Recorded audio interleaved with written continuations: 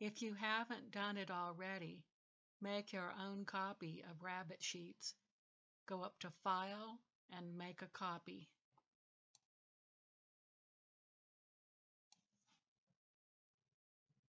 Name your file something meaningful to you. Maybe give it your rabbitry name.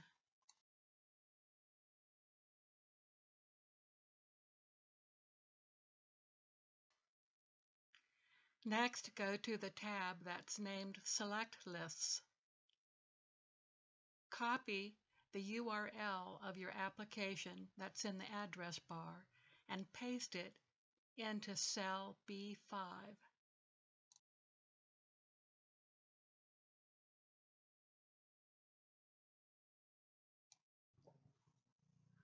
When you hover your mouse over the yellow cell, with the red letters in it, there'll be a little pop-up that says you need to allow permissions for the tabs to communicate with each other. So click on the blue button that says allow when it appears.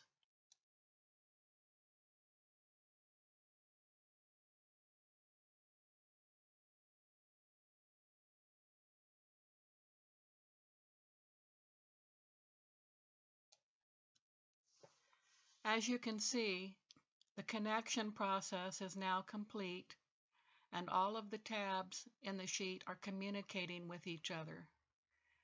This allows the data that we have in our rabbits list tab to be accessed by the other tabs to create pedigrees.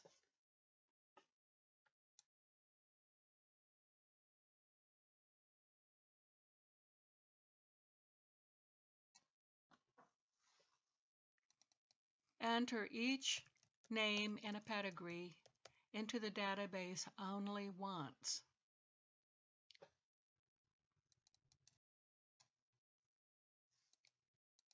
If you have rabbits that have the same ancestors, enter those ancestors into the database only once. Do not enter them again each time you put a new rabbit into the database.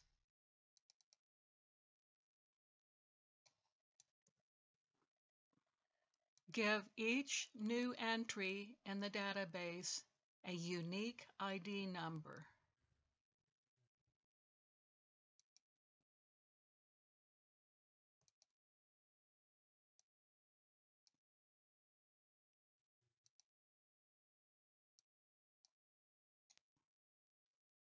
You can enter Sire and Dam ID numbers manually by looking them up on your list or you can use the autocomplete form.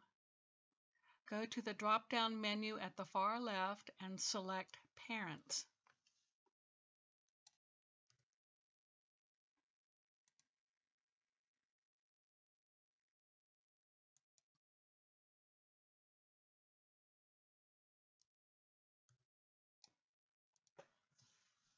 And now we can see that the parents we selected have been automatically entered into the line for our new rabbit.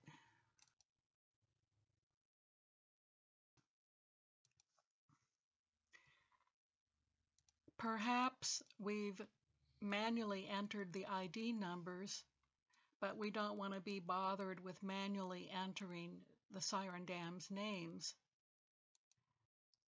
If we go to the far left drop-down menu and select Update, then the script will run in the background and type in the sire and dams names for us.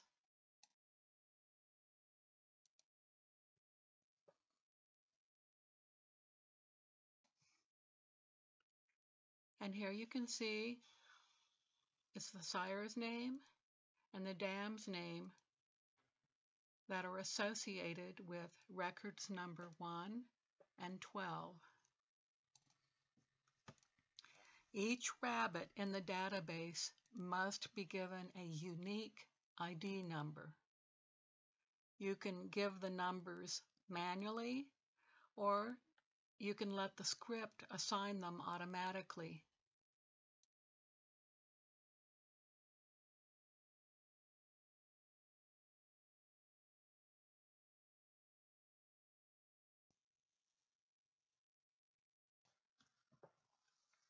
To have a rabbit's name appear in the selection drop-down list for pedigree display, just go to the Rabbits List tab, find that rabbit's row, and type a number 1 in the column that's lettered T.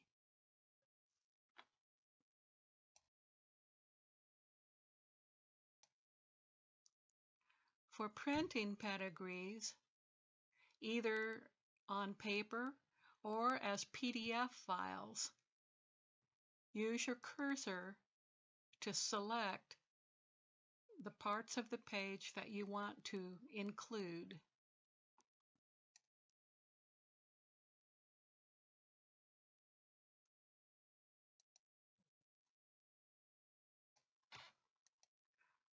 I like to keep copies as PDF files on my Google Drive.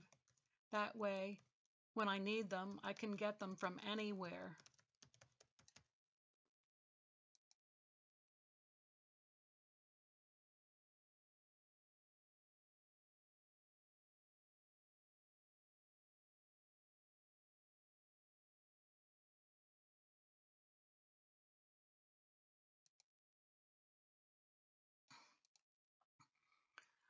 All rabbits that have a number 1 typed in column V on the Rabbits List tab will appear on the tab that's named Current Herd.